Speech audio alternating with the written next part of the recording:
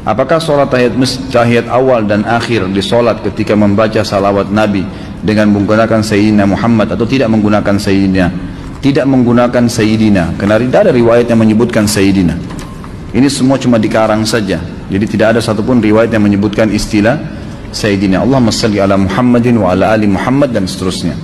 Apa boleh dalam tasawuf akhir dalam sholat membaca Sayyidina? Allahumma salli ala Sayyidina. Boleh. Dalilnya, Nabi sendiri menyebut diri dia Sayyid. Ana Sayyidu waladi Adam. Aku ini adalah pemimpin.